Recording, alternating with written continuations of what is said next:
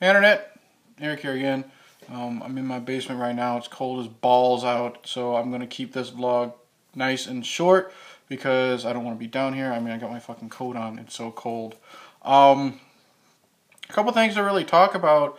Um, I'm continually, I'm still watching this um, Making a Murderer, and I got one episode left, and um, I'm not really going to discuss it right now until I finish the final episode, but goddamn. Um, I mean, it's all over Facebook at least. Um, and there's some stuff on the news, you know, just because this has become so popular. And just seriously, it's it's really true what people say. If you want to watch a documentary that'll make you scream at your TV so much, um, it's true. I've been screaming nonstop at my TV about, you know, these holy shit moments that have happened in this whole court case with Steven Avery and his um, his young nephew. But enough of that. Um, I finally finished Ash versus Evil Dead, and I am a huge, huge Bruce Campbell fan to begin with. And I grew up watching, you know, the Evil Dead movies, mainly Army of Darkness. I was a big fan of Army of Darkness. I, you know, I got the little figures. Um, that was what I was introduced, how I was introduced to the Evil Dead series was through Army of Darkness. And that's how I was introduced to Bruce Campbell.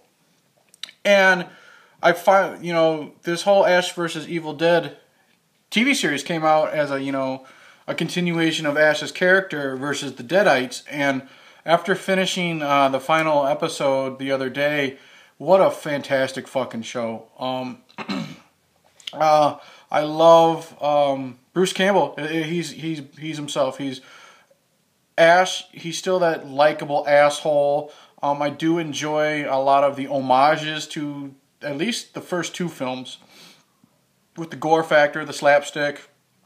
Um, um, Lucy Lawless, goddamn, how sexy is that woman? Even when she, especially when she's, you know, chopping heads off of demons. Um, I love, you know, his sidekick Pedro, and I can't think of the other, the, the Italian chick's name. Um, yeah, so much fucking fun. I'm glad it signed up for a, for a second season. Um, and I'll just say this: the way the series ended, like the final episode, it was like straight out of a movie. The action was just nonstop and top notch. Fucking fucking love it. Um, even though I, I am watching this streaming it on TV, I think I'll actually buy the um the DVD set of it when it comes out because I like it that I love it that much. It, it's just perfect. Um, other thing I was just going to talk about briefly was we've had some deaths in um, in the in the movie genre and the music genre lately. Um, it was it was around Christmas, I believe, Christmas or New Year's. We sadly we lost Lemmy Kilmister. I think that's how you pronounce his last name. Lead singer Motorhead, and he was a huge, huge icon in um, the genre of heavy metal and rock. Um, just being the frontman for Motorhead, but not just that. I mean, he's done so many, you know, movies and guest stars. I mean, he's he performed at WrestleMania two or three times. Um, huge, huge loss, huge following. Um, but sadly, after we lost Lemmy, we lost, in my opinion, someone bigger in uh in the genre because I had to explain to my wife who Lemmy was. And, you know, and she was like, oh, the guy who, you know, he's in that band that sung Ace of Spades. Yeah. Well, we recently lost David Bowie. And with David Bowie, um, a lot of people are making it the equivalent of like losing John Lennon again. Because David Bowie just, he, he's been singing since the 60s and he's just been so influential and such a big part of music ever since then. And um, but he's also done movies, you know, not just Labyrinth, you know, the, the Jim Henson movie Labyrinth.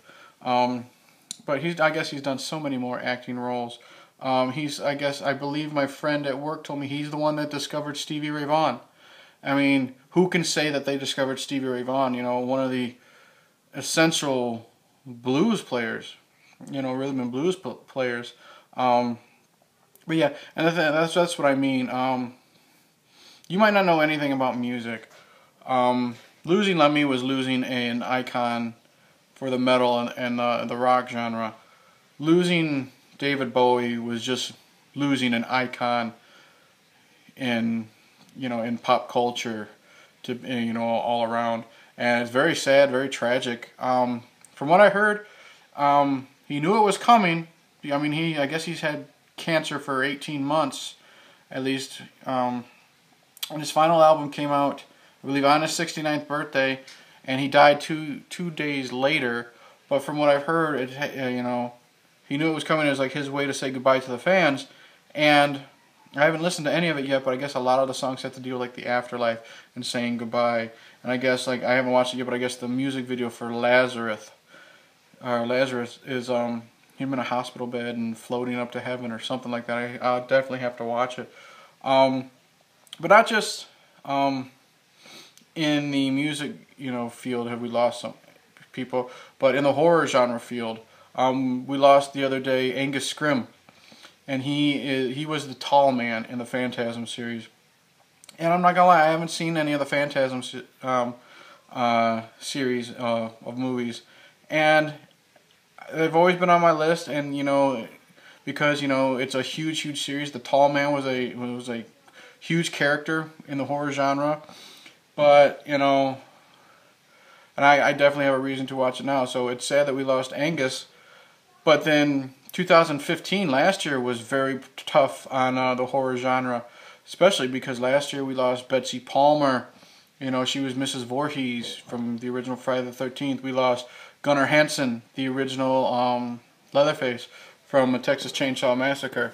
And I'll show you, I got a couple of his autographs that, you know, here, let me see. I can't fucking do this. There you go. One thing, one of Gunnar. Can you see the autograph right there? And I have one more, which I got to step over a bunch of shit to see, to show you. But, and it's a little dark because I don't have a light down in this area. But another one of Gunnar with Grandpa. And Gunnar recently returned to the Texas Chainsaw franchise with the Texas Chainsaw 3D. He was in it for a brief cameo, maybe like two minutes. But um, sadly, we lost him. We lost Christopher Lee. You know, and he he just transcended horror. But he, you know, in the horror genre, he was um, Dracula and Frankenstein and all those Hammer films. And then sadly, we lost um, Wes Craven. You know, the the man who created Freddy Krueger, the man behind so many horror um, icons behind Shocker, behind the Scream series. Um, God, I just off the top of my head, there's just the, the, the, Swamp Thing, so many things. Deadly Friend, that piece of crap, but it's it's it's it's fun piece of crap. Um, Red Eye, if you've ever seen Red Eye, oh my God, Serpent and the Rainbow, The Hills Have Eyes.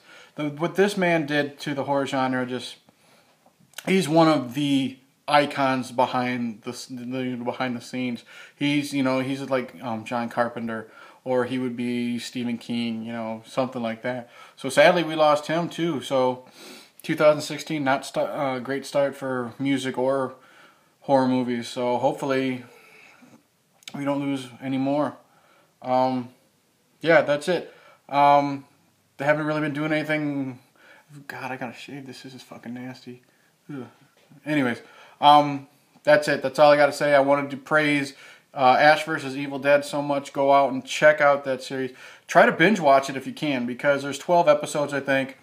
The first one is roughly an hour long, and then everything else is roughly 25 to 30 minutes long. You can binge watch that fucking thing in a night if needed or within two days, and I highly, highly recommend it. Um, and I've heard no no negative on this at all, so go check that out. Um, like I said, making a murderer. Goddamn. I, I still hate my sister and my friend for getting me addicted to this and making me so mad. But, excuse me, it is what it is. And, um, like I said, oh, uh, sad situation losing those people. Um, a lot of influences, a lot of love, a lot of fans, and hopefully it doesn't keep going. So, um, in closing, I'll have a nice day. I'm gonna go fucking upstairs and try to warm up because, like I said, it's cold as balls down here, and it's they're mine are probably like right up inside by my navel right now, just trying to keep warm. So enjoy that, you know, that image that's now probably in your head, and take care.